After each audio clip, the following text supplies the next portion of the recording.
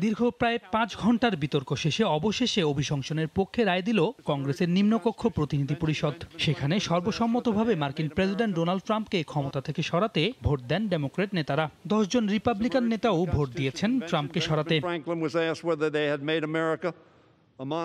মার্কিন ইতিহাসে ট্রাম্পই একমাত্র প্রেসিডেন্ট যিনি দুইবার এই লজ্জার শিকার হলেন। আইন প্রণেতারা বলছেন ট্রাম্প গণতন্ত্রের জন্য নন তার কোনো অধিকার নেই বাকি কয়টা দিনও দেশ পরিচালনা করার তবে ভোটে পাশ হলেও এখনই ক্ষমতাচ্যুত হতে হবে না। এবার রিপাবলিকানদের নিয়ন্ত্রণে থাকা উচ্চকক্ষ সিনেটে তার বিচারের পট প্রস্তুত হবে। তবে ট্রাম্পকে ক্ষমতা থেকে সরাতে সেই বিচার সময় মতো শুরু হবে কিনা তা নিয়েই রয়েছে দ্বিধা। বিষয়টি নিয়ে আইন প্রণেতাদের বিতর্ক চলার এই সময়ে কড়া নিরাপত্তা ব্যবস্থায় ক্যাপিটাল ভবনের চারপাশে মোতায়েন করা হয়েছে ন্যাশনাল গার্ড।